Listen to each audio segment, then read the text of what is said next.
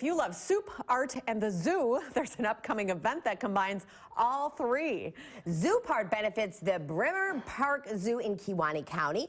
Brad Conan from the Zoological Society is here along with Danae Seminar, who won last year's Best Soup Competition.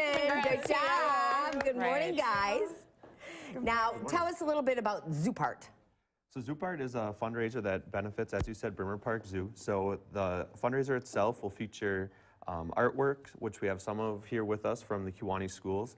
Um, and it's for all of Kewaunee County schools. So they participate by, the students make the bowls, which we brought a few of the samples along, as well as do some of this different artwork that'll be on display there. So the artwork will be judged. Um, there's awards all the way from kindergarten through 12th grade that will be given out on Sunday um, to the winners of the art. Um, and then the fundraiser itself, we have 23 soups this year. Um, 15 coming from restaurants and eight from home cooks. So it's like the home cooks versus the restaurants, right? Um, so we actually have two different competitions. so we have okay. one just for all the businesses. Gotcha. And the winner of that, um, Vollrath donated a prize of stainless steel bowls for, Oh, for that winner. nice. And then the home cooks, um, we're giving away an air fryer for the winner of that. Oh. so each contestant, Look gets, she's like, She's like, I'm winning again. each contestant gets to uh, cast a ballot for their favorite soup at the end of the day. so the deal is though, you come in and you buy one of these bowls, right? And that's your admission? Yep. Yeah, so it's ten dollars to get in. Um, when you pay your ten dollars, you get to go pick your bowl. So we have roughly 600 handcrafted bowls that were made either by students, um, actually spinning the bowls themselves, or some of them. This one's a um, heart.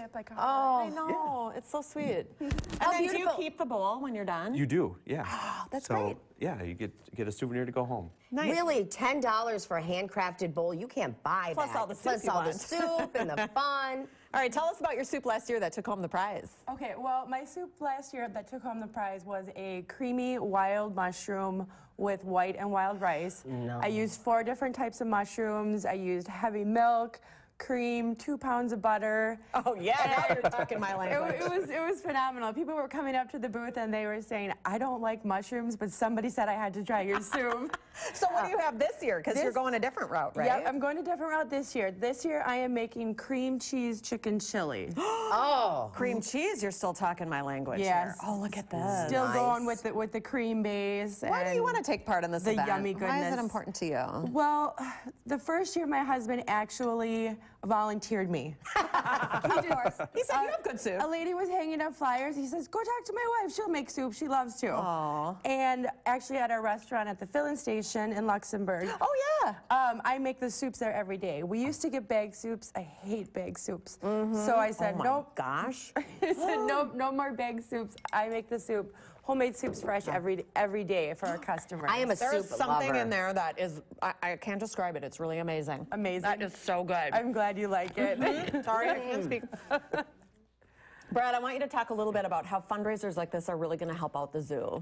Yeah, so we do two fundraisers a year, um, major fundraisers. Zoupart um, every year at the end of February, and then Zoobilee um, in October, which is actually at the zoo. Um, so currently at the zoo, we're looking at adding a nature center Oh, neat. and a new pheasant exhibit. So the pheasant exhibit, um, we're targeting 20 new um, species of pheasants that'll be exotic from all around the world. Um, so we actually will have the plans for that at Zoupart as well, so people can kind of see where their money is going. So um, last year we redid a bunch of the cages Yeah. at the zoo, um, put up new fencing.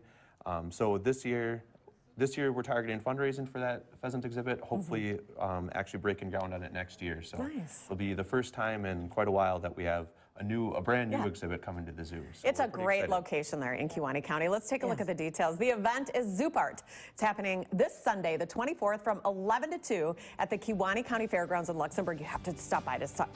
Get this chili. So good. and admission is only ten dollars, and you get the soup, the bowl. You get to see all the artwork. It's wonderful. Check out more information on their website or on Facebook. Just search Bruemmer Zoo Park Zoo.